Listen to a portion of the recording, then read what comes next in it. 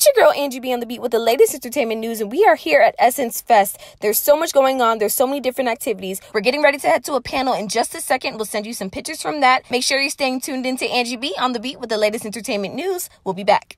Oh, I talked to Chico Bean about this earlier. You guys said, well, he said that Vegas was the livest show. Talk about Vegas. Chelsea Scott, we are so excited to have you.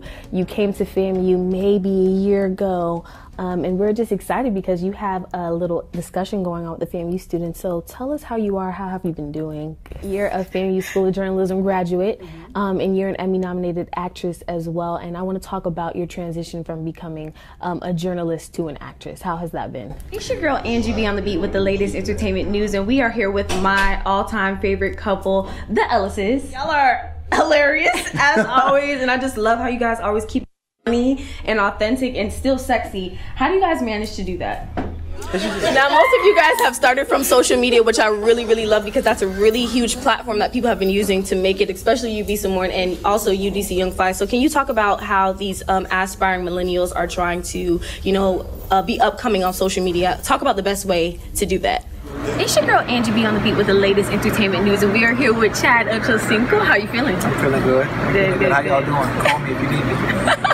we are here at 40 Yards of Gold. Now, Chad is a part of this. He's hosting it, which we're really excited about. What are your expectations for this event?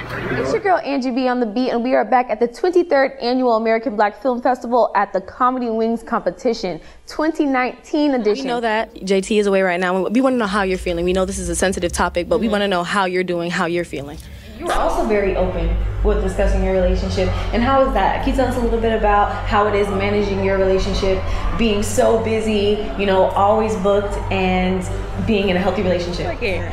Now, how did you guys even come up with this idea to be matchmakers? You know, everyone loves relationships. Yeah. So, tell us a little bit about how, when things were going on in your relationships, that made you guys kind of grow closer mm-hmm. with each other? Yes. Well, you guys' first platform was on social media, right? Yeah.